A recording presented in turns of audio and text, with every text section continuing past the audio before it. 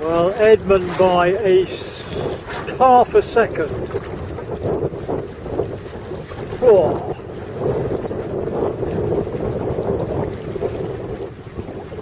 Fortunately, race horsing is not a precise art. So was he the only one? He was the closest. Oh. Can somebody take the radio? Yeah, yeah. Oh, Please,